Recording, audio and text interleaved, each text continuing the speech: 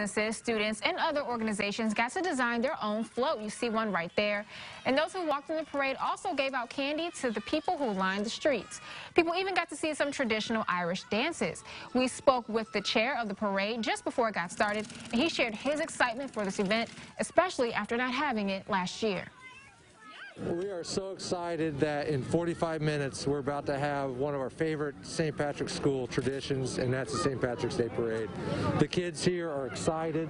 Uh, you know, unfortunately we had to cancel last year due to COVID, and they are so excited to be able to finally have this parade. Shagley says the parade is one of the many traditions at the St. Patrick's School. And